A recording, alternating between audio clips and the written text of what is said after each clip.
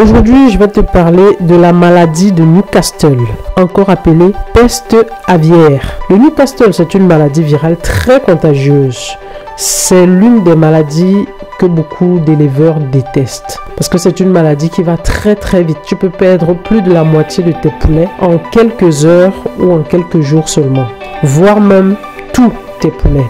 Donc, je fais cette vidéo pour te dire pourquoi cette maladie se propage aussi rapidement dans ton poulailler ou sur tes poulets. Si tu es nouveau sur la chaîne, je t'invite à t'abonner, activer la cloche de notification pour ne pas rater nos prochaines vidéos. Ainsi, tu seras notifié lorsque nous mettrons de nouvelles vidéos sur la chaîne. Donc, comme je disais tout à l'heure, le Newcastle, c'est une maladie virale très contagieuse. Cette maladie est très fréquente euh, pendant la saison sèche. Pourquoi cette maladie se propage aussi rapidement sur les sujets? Ce qui justifie cette propagation rapide est le fait que lorsqu'une poule a la maladie de Newcastle, elle tousse ou elle éternue. Et alors, les gouttelettes de cette toux ou éternuement sont projetées et transportées par l'air D'où la contamination rapide des autres sujets dans le poulailler. Donc voilà ce qui justifie euh, cette propagation rapide. Même quand tu constates que la de cette maladie et que tu l'isoles, le simple fait de l'isoler dans un coin, toujours dans le... La contamination peut se faire très rapidement parce que la poule éternue et elle tousse. Donc rien que l'air qui passe dans le poulailler transporte ce virus qui est projeté dans la toux du poulet et se propage rapidement sur les autres sujets dans le poulailler. Et c'est ainsi que au bout de quelques heures, tu n'avais qu'un seul poulet malade et du coup tu constates euh, euh, qu'il y en a plusieurs qui sont malades en peu de temps.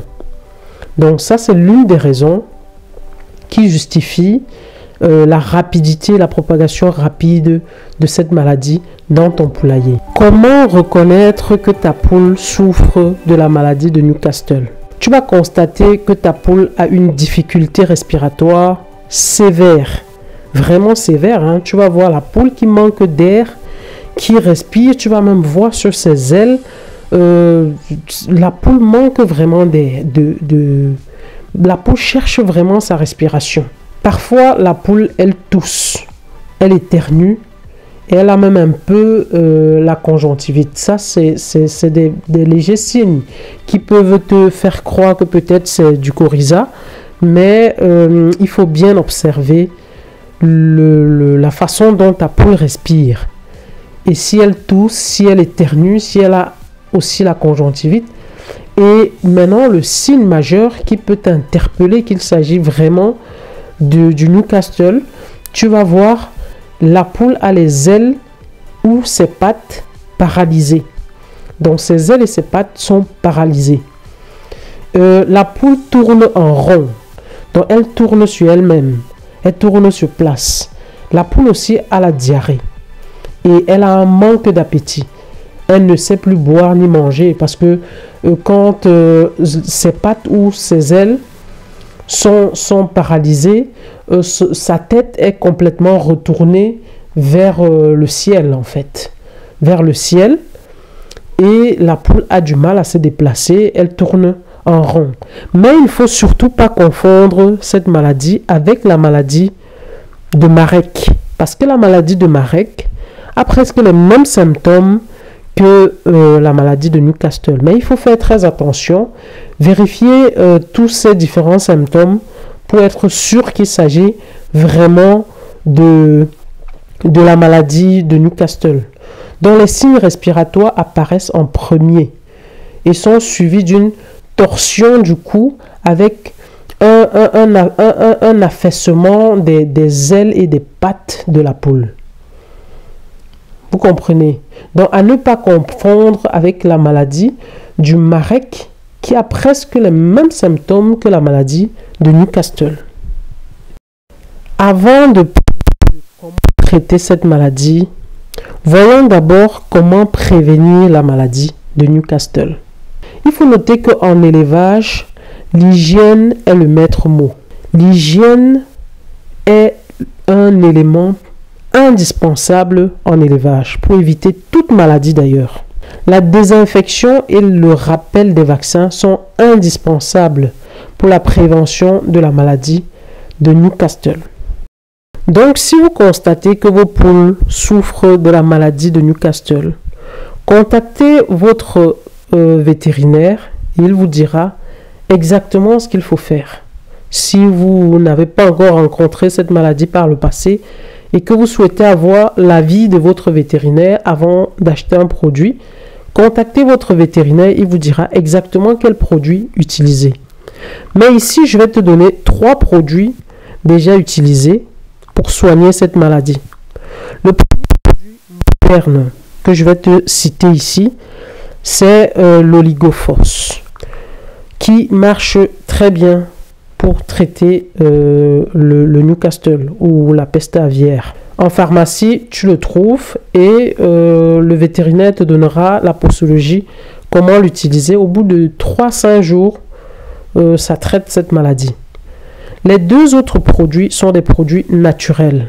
Le premier produit naturel, c'est la poudre de moringa. La poudre de moringa est également très efficace pour soigner la maladie de la coccidiose parce que euh, cette poudre de moringa renforce le système immunitaire des poules et, aide à prévenir les maladies virales comme euh, le Newcastle. Cette poudre de moringa est riche en vitamines, en magnésium, en calcium, en phosphore, en fer. Le moringa a des propriétés antibactériennes, antiseptiques et anti-inflammatoires. Je ferai une prochaine vidéo pour vous donner plus de détails sur les bienfaits de cette poudre naturelle.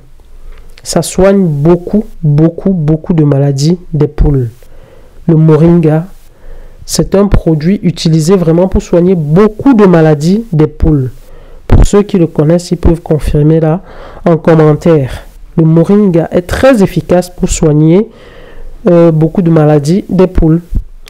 Donc, si tu es d'accord avec cet avis-là, mets un pouce bleu et un petit commentaire si tu as déjà utilisé euh, la poudre de moringa pour soigner une maladie sur tes poules, pour confirmer ce que je suis en train de dire. Le, dernier produit naturel pour soigner le, le Newcastle sur tes poules, c'est euh, les feuilles de Nîmes. Les feuilles de Nîmes, j'en ai parlé dans l'une de mes vidéos ici, qui euh, étaient utilisées pour soigner la coccidiose sur les poules c'est le même traitement. Donc je t'invite juste à aller regarder cette vidéo sur le traitement à base des feuilles de Nîmes et tu verras exactement euh, comment l'utiliser, comment traiter et comment euh, prévenir même euh, la coccidiose sur tes poules à base de cette, de cette plante naturelle. Si tu as aimé la vidéo, je t'invite à mettre tout simplement un pouce bleu, de t'abonner si tu n'es pas encore abonné à ma chaîne d'activer la cloche de notification pour être notifié lorsque je mets de nouvelles vidéos sur la chaîne. A très bientôt pour une prochaine vidéo.